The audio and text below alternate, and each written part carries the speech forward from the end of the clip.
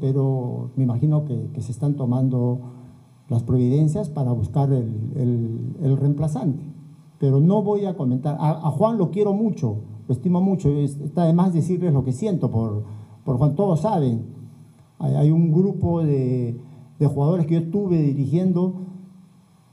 que, que siempre eh, me sentí orgulloso de que hayan seguido esta carrera. Y uno de ellos, y posiblemente el técnico más exitoso eh, en ese sentido, además de otros que hay también peruanos, pero Juan es un técnico quizá más exitoso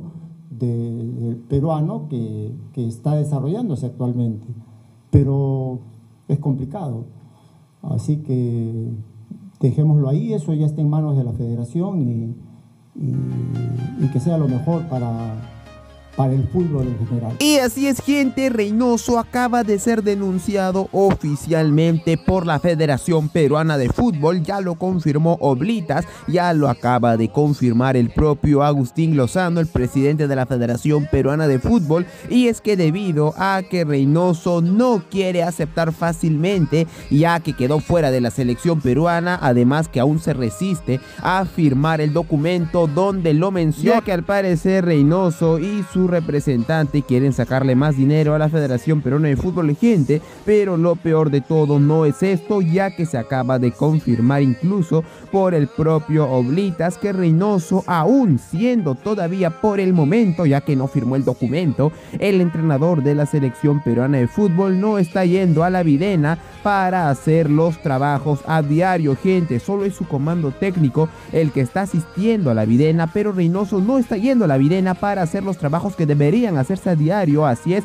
todo el tema de la gestión que se realizan en la Virena, al parecer a Reynoso no le importa y aún así, siendo todavía por el momento el técnico peruano, no está asistiendo a este lugar donde debería ir. Gente, esto es algo que al parecer ya habría molestado mucho a Blitas y a todos los dirigentes de la Federación Peruana de Fútbol, por lo que ya están buscando completamente rápido y oficialmente que Reynoso ya firme el documento donde anuncia su retiro de la Federación Peruana de Fútbol Gente, ya que si no procederán a iniciar con una denuncia, con una demanda contra Reynoso, donde tendrían que ya votarlo a la fuerza. Esto también en parte le conviene a la Federación Peruana de Fútbol, ya que Reynoso no está asistiendo a la Videna y esto podrían usarlo como fundamento principal incluso para votar a Reynoso y ya ni siquiera pagarle dinero. Esto también podría ser una buena idea teniendo en cuenta que la Federación Peruana de Fútbol está ya en busca de un nuevo entrenador y que el tema económico es importante